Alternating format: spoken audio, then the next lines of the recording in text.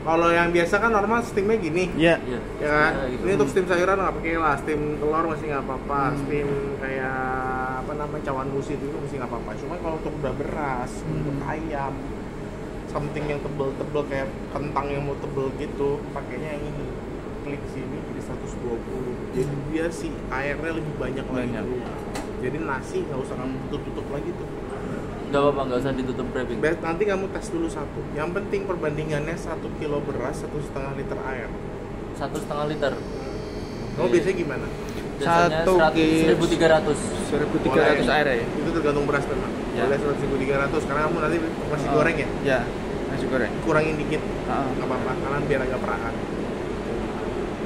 boleh 1300 boleh 1500 coba cek dulu ya ya. nggak usah ditutup jadi nanti dia lebih nggak nggak terlalu. Kalau kamu masih ngerasa terlalu kering turunin aja 2 derajat. 98 jangan 96 Oh gitu ya.